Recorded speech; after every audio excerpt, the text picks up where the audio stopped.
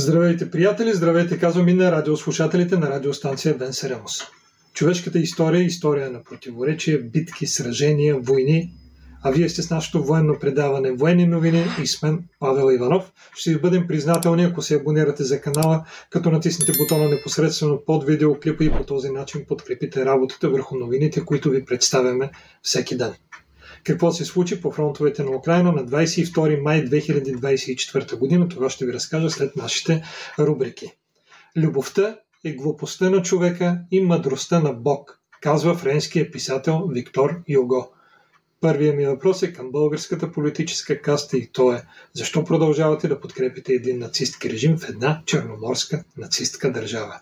А вторият ми въпрос е към вас, нашите зрители. Той отново е предизборен. Каква е вашата позиция относно правата на малцинствата и интеграцията им в българското общество? Ние държим на вашето мнение и ще се радваме на всяко едно харесване, коментар или позиция, които може да оставите под видеоклипа. В рубриката Герои на свободата ви представям сержант Марк Давидов. Оператора на взводен разчет за въздушно разузнаване сержант Марк Давидов при изпълнение на поставена задача, управлявайки безпилотен летателен апарат, открил добре замаскирано струпване на вражеска техника, съсредоточена за атака. Марк коригирал работата на артилерийските части и осигурил обективен контрол на огневото унищожаване на вражеските цели. В резултат на артилерийския удар били унищожени две бойни машини на пехотата, една бойна бронирана машина, както и част от личния състав на противника, като така било предотвратено предстоящото вражеско нападение. В рубриката Въпроси и отговори получихме въпроса как ще коментирате заявлението на Зеленски, че Киев никога не е атакувал територията на Русия с западно оръжие.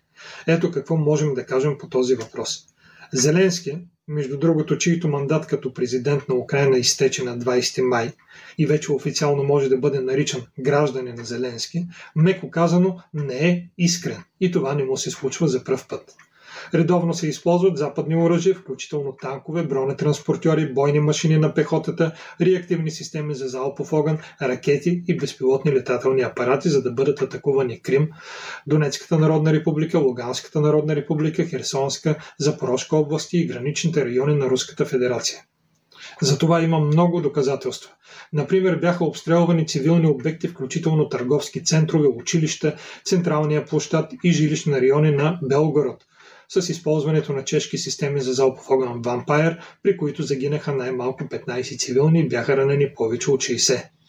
Освен това, с помощта на американски комплекс Patriot беше свален над Белгородска област руски самолет Ил-76, превозващ украински пленници.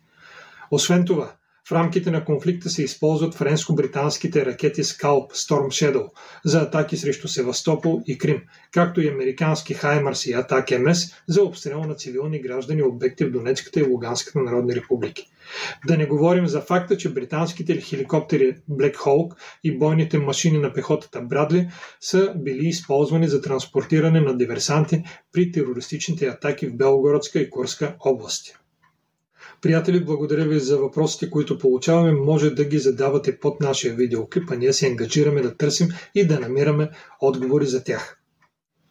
И от света на вечната вселенска иллюзия злите езици недоказуемо твърдят, че Хамас и Израел са сключили временно примирие, за да проведат съвместна военна операция срещу Международния наказателен съд в Хага какво се случи по фронтовете на Украина на 22 май 2024 година. Ситуацията в посока Херсон не е напълно ясна. След вчерашните изявления за освобождаването на Кринки отново се появи информация, че тези изявления са преждевременни. Няма промяна на Запорожкия фронт. Няма особени новини и от южно-донецкото направление, където руските въоръжени сили продължават да измъчват украинската отбрана в Старомайорско и Урожайно е. На Донецкия фронт боевете се водят по всички направления. В Красногоровка украинските въоръжени сили задържат позициите си.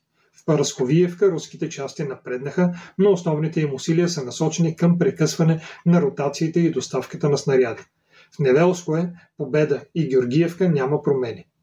На Авдеевския фронт руските войски прочистват село Нетайлово.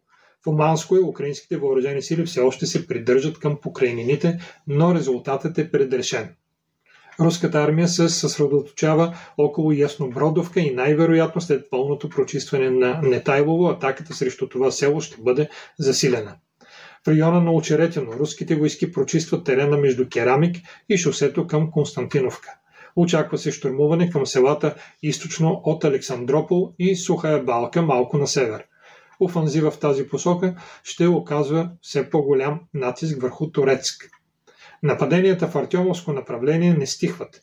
Дори като се вземе предвид отклоняването на резервите към Харковския сектор, Часов Яр постоянно получава подкрепление от въоръжени цили на Украина. Боевете се водят не само в сградите, но и в горите на север и юг. Има ожесточени битки в района на Красное и Клишеевка, но въпреки съпротивата на противника, руските въоръжени сили имат сериозни тактически успехи. Северския и краснолиманския участъци отново няма съществени промени. В Купенско направление руските войски пробиват отбраната на украинските въоръжени сили в района на Кисловка, Береставое и Стелмаховка. Ситуацията на Харковския фронт се стабилизира. От място съобщават за безпредседентен брой резерви на украинските въоръжени сили, събрани при Волчанск. В самия Волчанск се водят сражения. Съдейки по данните, с които разполагаме, руските части категорично са овладели северната част на града по поречието на реката. В Липци няма големи промени.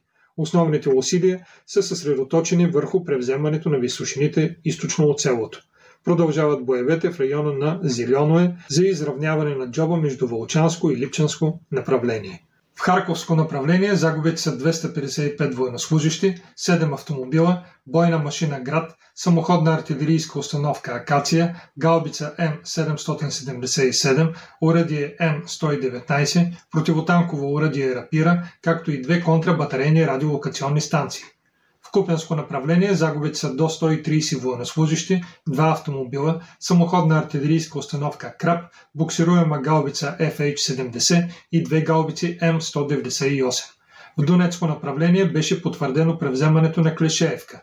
Загубите са повече от 365 военнослужащи, две бойни бронирани машини, 18 автомобила, гаубица Д-20, гаубица Д-30, уръдие М119 и уръдие Л-119. В Авдеевско направление загубите са до 420 военнослужащи, 3 бойни бронирани машини, 3 автомобила, гаубица Д-30 и 2 урадия М119. В Южно-Донецко направление загубите са до 125 военнослужащи, 2 бойни бронирани машини, 6 автомобила, самоходна артилерийска установка Краб, буксируема гаубица FH-70, самоходна артилерийска установка Акация и самоходна артилерийска установка Гвоздика. Херсонско направление загубите са до 35 военнослужащи, 7 автомобила, 2 гаубици М777, гаубица МСТА-Б и гаубица Д-20. Оперативно-тактическата авиация, безпилотните летателни апарати, ракетните войски и артилерията поразиха два склада с боеприпаси, както и жива сила и военна техника на противника в 102 района. Унищожени са още 34 безпилотни летателни апарата, две управляеми бомби Хамър и една ракета Хаймарс. И от интересното, може би става въпрос за заговор. Покушението срещу Робърт Фицо не е било действие на един човек. Според подробностите при разследването, пише Азия Таймс, може да се направи извода, че това е било преднамерен заговор и стрелецът не е действал сам.